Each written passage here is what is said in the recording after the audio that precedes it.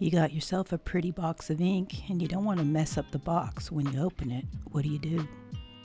You use this Shokido's ink box opener.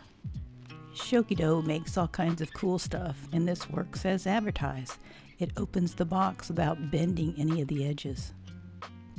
Actually, this size is made specifically to open up Tono and Lim's ink boxes.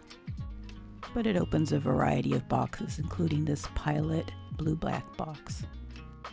But it's too wide to open this Ferris wheel press box. But what I do at home is I use a butter knife and that works just great. But wait, they do make an opener, especially for Ferris wheel press boxes and it works like a champ. Subscribe or follow if you want to see more stationery stuff like this.